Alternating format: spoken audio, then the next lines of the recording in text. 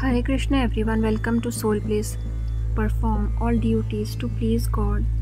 The beauty of the Bhagavad Gita is that it is applicable to all human life. The Gita counsels simply and repeatedly that he who performs dutiful actions not for himself but for God is saved. But how does one determine which actions are dutiful and which are not? The way is to follow the counsel of someone who has wisdom, for that quality is lacking in the devotee in the beginning of his spiritual quest. If one wants to be a lawyer, the best course is to seek out a good one and learn his methods, the ways in which he trained his mind to deal in legal matters. So the same is true in seeking God. Follow a divine expert. In India, we call such a one a guru.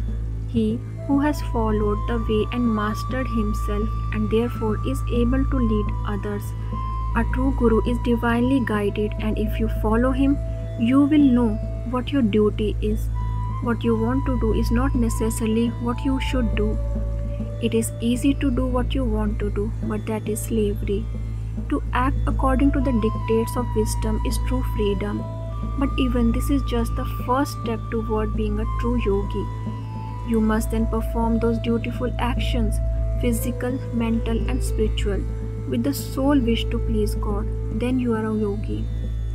The excellence of yoga is that it points out both the goal and the way to the infinite God.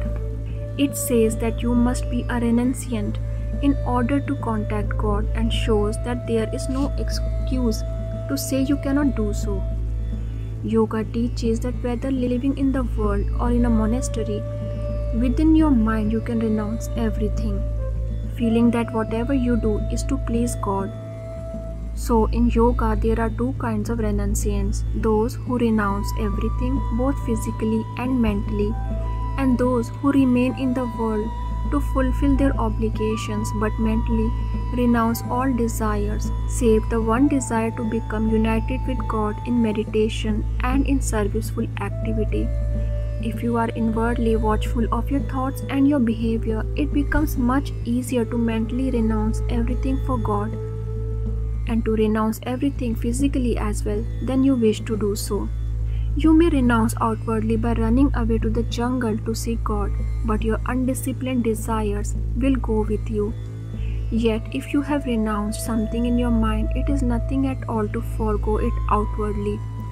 I enjoy the food I eat, but inwardly I am aware that it is God who is eating through me. Therefore, I feel no attachment to food.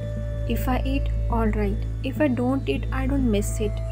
The idea is to learn to relate all experiences to God.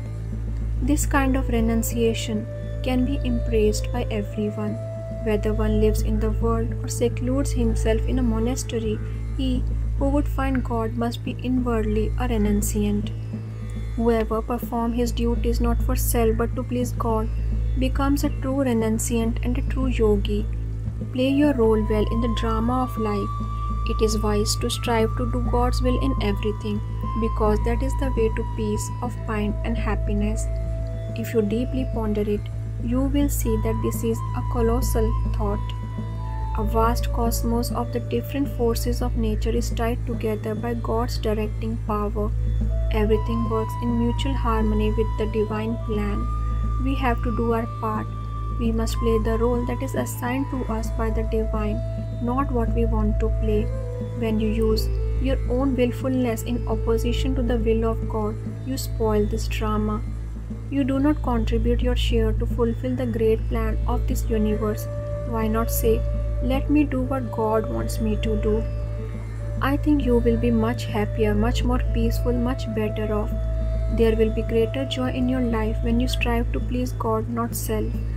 When you awaken in the morning, affirm, Lord, I offer this day unto you. The little ego no longer holds sway in this body. You alone dwell here. As soon as you begin to find God within yourself, you will also behold Him in others. Then you can't hate anyone because you see Him enshrined in all body temples. It is a beautiful way to live. In everything we do, we should think of God in loving and serving our country, our family, and other loved ones. We should love Him above all else. He must be first in our hearts and in, in our lives. That is why He has declared in the Ten Commandments, Thou shalt have no other gods before me. Be in the world, but not of it.